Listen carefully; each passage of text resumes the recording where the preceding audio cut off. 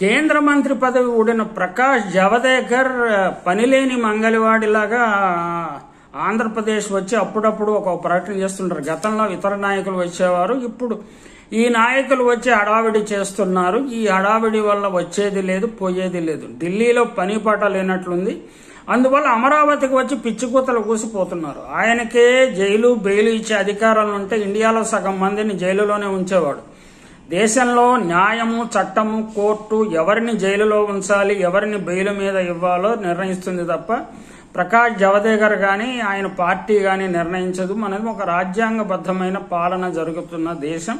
దీనిపై రకరకాల ప్రభావాలను చూపించే వ్య- వ్యక్తులు శక్తులు ఉన్నప్పటికీ ఇంకా న్యాయం ఒక పాదం మీదైనా నడుస్తూనే ఉంది.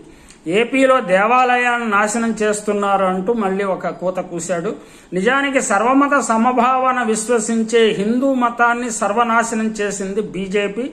ఆర్ఎస్ఎస్ వారేనన్న విషయం తెలిసిందే. డెబ్బై ఐదు సంవత్సరాల స్వాతంత్ర కాలంలో నెహ్రూ గాంధీజీ లాంటి వారు ఎన్నో మంచి మార్గాలను సూచిస్తే ఆ మార్గాలను వక్రీకరించి మతాన్ని భ్రష్టు పట్టించే పద్ధతులను వీరు అనుసరించి దేశంలో విభజన తీసుకువస్తున్నారు.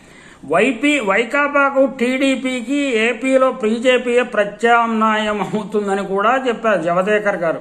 ఇది వింటే చిన్నపిల్లలు కూడా నవ్వుకుంటారు. పంతొమ్మిది వందల తొంభై ఎనిమిది తొంభై తొమ్మిదిలో పద్దెనిమిది శాతం ఓట్లు సంపాదించిన బీజేపీ రెండు వేల ఇరవై ఒకటి నాటికి ఒకటి పాయింట్ ఎనిమిది శాతానికి విజయవంతంగా తగ్గిపోయింది. జవదేకర్ లాంటి నాయకులు అంతకుముందు సునీల్ దేవదర్ లాంటి నాయకులు వచ్చి మాట్లాడుతుంటే ప్రతి కొన్ని మాటలకు కొన్ని ఓట్లు పోయే విధంగా ఉంటాయి తప్ప వారికి ప్రయోజనం ఏమి ఉపయోగం లేదు. పోలవరం పూర్తి కాకపోవడానికి కేంద్రమే కారణం. అయితే తాను పర్మిషన్ ఇచ్చారు. ఎందుకు కట్టలేదు? ఏడు సంవత్సరాలు. కేంద్ర ప్రభుత్వం కదా అసలు కట్టాల్సిందన్న విషయాన్ని మర్చిపోయి ఇక్కడ ర- రచరచ మాటలు మాట్లాడుతున్నాడు. ఎర్రచందనం టాస్క్ ఫోర్స్ ఎందుకు రద్దు చేశారో ఆయనకే తెలియలేదు ఆయనే రద్దు నేనే రద్దు చేయించాను అన్నట్టుగా చెప్తున్నాడు. మద్యం డబ్బుతోటి నడుస్తున్నదట.